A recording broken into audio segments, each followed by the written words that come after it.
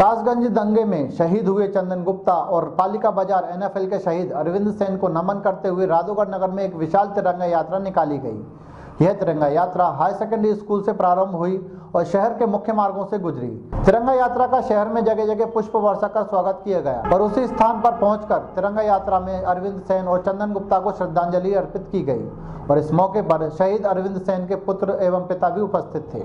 तिरंगा यात्रा का समापन राष्ट्रगान कर किया गया। तिरंगा यात्रा की शुरुआत राधोगढ़ के हायर सेकेंडरी स्कूल से हुई। यात्रा में जोश से भरे युवा तिरंगे को थामे। भारत माता के जयघोष लगाते हुए चल रहे थे।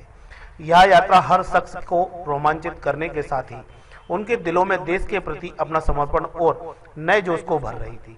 लोगों ने भी इस यात्रा का खुलकर स्वागत किया। रास्ते भर लोगों ने इन पर फूलों की वर्षा की। इसमें शासकीय स्कूलों के अलावा मदरसों के बच्चों ने भागीदारी दर्ज कराई।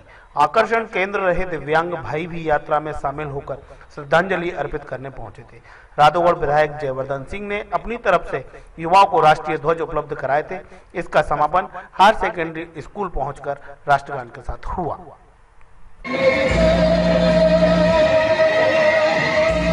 Sunday.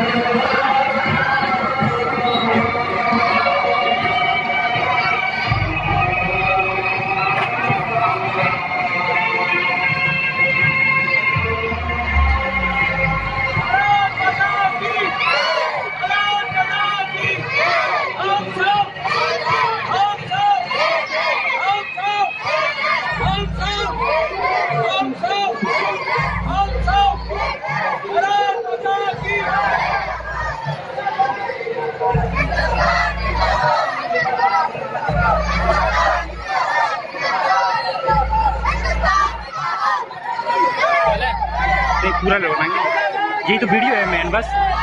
ही बना लेते खत्म।